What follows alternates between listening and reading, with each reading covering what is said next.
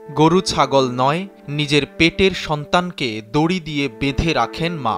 গত চার বছর ধরেই এমনটা চলে আসছে। কখনো গাছ, কখনো বাঁশের খুঁটি, আবার কখনো চেয়ার টেবিলের সঙ্গে রাত দিন বেঁধে রাখা হয় নয় বছর বয়সী সাথীকে। হৃদয় বিদারক এই দৃশ্যের দেখা মিলেছে রংপুরের পীরগাছার তাম্বুলপুর ইউনিয়নের রামগোপাল গ্রামে। রামগোপাল গ্রামের হতদরিদ্র শাহিন ও লাভলি দম্পতির ঘরে নয় বছর আগে জন্ম নিয়েছিল ফুটফুটে একটি কন্যা সন্তান।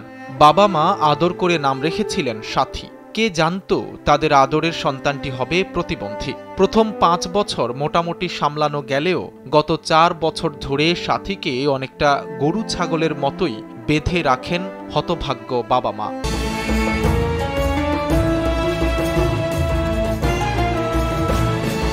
তার অনেক চিকিৎসা করেছি।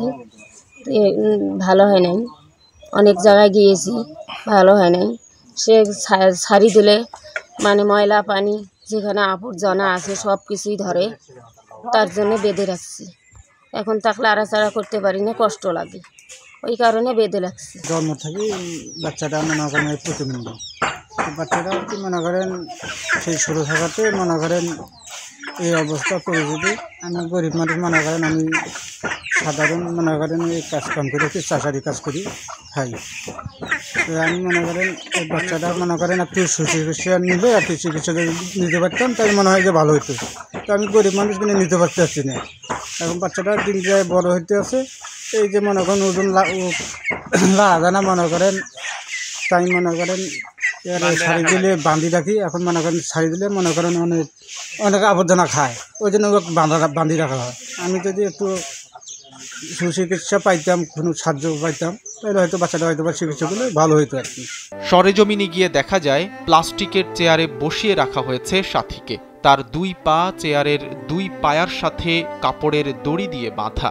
যাতে সে পড়ে না যায়, সেজন্য তার শরীর সহ চেয়ারটি বাঁশের খুঁটির সাথে ওড়না দিয়ে বেঁধে রাখা হয়েছে। বাচ্চাটির ওজন বেশি হওয়ায় তাকে কোলে তুলে নেওয়াও সম্ভব হয় না।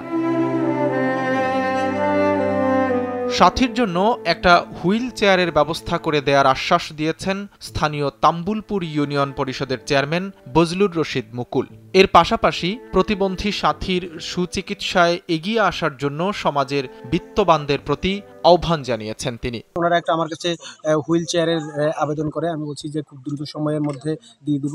আমাদের পক্ষ থেকে যতটুকু করণীয় আমরা একটা প্রতিবন্ধী ভাতা করে দিয়েছি। আমার কাছে মনে হয় যে আর একটু সুচিকিৎসা করাতে পারলে মনে হয় বাচ্চাটা ভালো হতো। আর একটু মানে চিকিৎসা সহ অন্যান্য খরচ, ওরা যেটুকু ভাতা পায় অতটুকু যে কাভার করে না, ওরা অনেক গরিব মানুষ আম- মানে আমি দেখেছি। এই জন্য একটু বিত্তবান যারা লোক আছে, সমাজের বিত্তবান যারা মানুষ, তারা যদি সবাই এগিয়ে আসতো, আমরা যদি এগিয়ে আসতে পারতাম, তাহলে এই জাতীয় পরিবারগুলো অনেকটা মানে তাদের জন্য খুব ভালো হতো। স্থানীয়রা বলছেন, পরিবারের সদস্যদের জন্য তিন বেলা খাবার জোগাড় করাই কষ্ট হয়ে যায় শাহিন মিয়ার। সেখানে মেয়ের জন্য একজন ভালো চিকিৎসকের শরণাপন্ন হওয়া তার পক্ষে সম্পূর্ণ অসম্ভব। তাই এ ব্যাপারে সমাজের বিত্তবানদের সহযোগিতা খুবই প্রয়োজন। সাইদ রহমান, কালবেলা।